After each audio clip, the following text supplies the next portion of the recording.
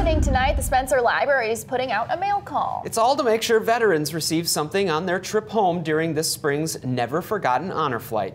Starting in just over an hour at 5:30, people can make cards for the vets. The library expects to break their previous record of more than 300 cards.